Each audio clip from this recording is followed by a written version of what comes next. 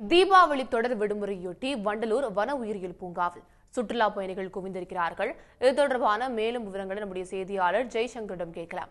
ஜெய்சங்கர் விவரங்களை பதிவு செய்யுங்க.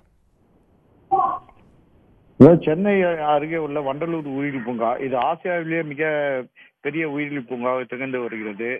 சென்னையில் முக்கிய பொழுதுபோக்கு மையமாக திகழும் இந்த வண்டலூர் உயிரியல் பூங்காவை தான் இன்று தீபாவளி பண்டிகையை வச்சு இந்த தொடர் விடுமுறையொட்டி சிறுவர்களுடன் குடும்பம் குடும்பமாக இங்கு தீபாவளி பண்டிகை விடுமுறையை கழிக்க வந்துள்ளனர். குறிப்பாக அந்த சிறுவர்களை அழைத்து கொண்டு ஒரு நாள் முழுவதும் இந்த பண்டிகை தினத்தில் வண்டலூர் பூங்காவில் கழிக்க கழிக்க வந்ததாகவும் இதனால் வந்து தங்கள் வந்து இதமான மழை நின்ற சூழலில் இயற்கை காட்சிகளுடன் வன வனவிலங்குகளை ரசித்தவாறு அங்குள்ள பறவைகள் ஊர்வன என பல்வேறு பகுதிகளை காண்டு அந்த ரசித்தவாறு அந்த குடு விடுமுறை முழுவதும் கழித்து வருகிறார்கள்.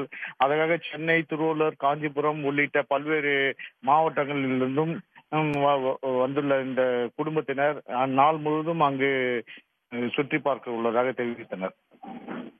இந்த விவரங்களுக்கு நன்றி ஜெய்சங்கர்.